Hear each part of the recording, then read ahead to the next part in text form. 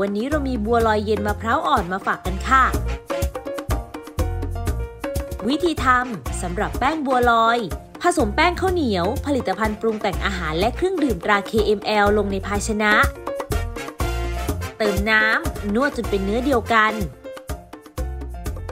แบ่งแป้งบัวลอยออกเป็น 5 ส่วนเท่า ๆกันนำไปผสมสีผสมอาหารที่เตรียมไว้ 4 ส่วน อีก 1 ส่วนเป็นแป้งสีขาว จากนั้นปั้นแป้งบัวลอยแต่ละสีเป็นเม็ดกลมขนาดเล็กเตรียมไว้นำแป้งบัวลอยแต่ละสีที่ปั้นเตรียมไว้ลงต้มในน้ำเดือด รอจนกระทั่งแป้งบัวลอยสุกช้อนลงในน้ำเย็น เตรียมไว้ วิธีทำนมมะพร้าวอ่อน ใส่ผลิตภัณฑ์ปรุงแต่งอาหารและเครื่องดื่มตรา KML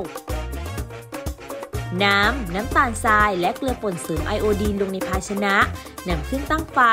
คนตลอดเวลาจนเดือดทั่ว ปิดไฟ